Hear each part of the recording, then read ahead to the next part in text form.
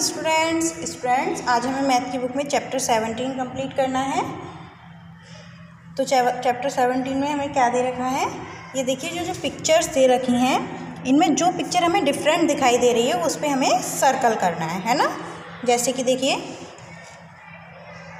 Cup ये भी cup है और ये भी कप है, लेकिन ये क्या है?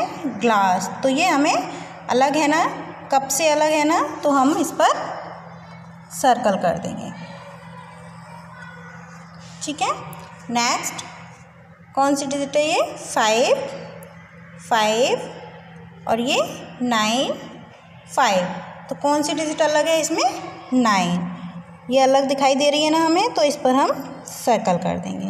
Okay next tomato apple tomato tomato तो कौन सी पिक्चर डिफरेंट है इसमें? एप्पल की। तो हम एप्पल पर सर्कल करेंगे। Next eight eight seven eight कौन सी पिक्चर डिफरेंट है?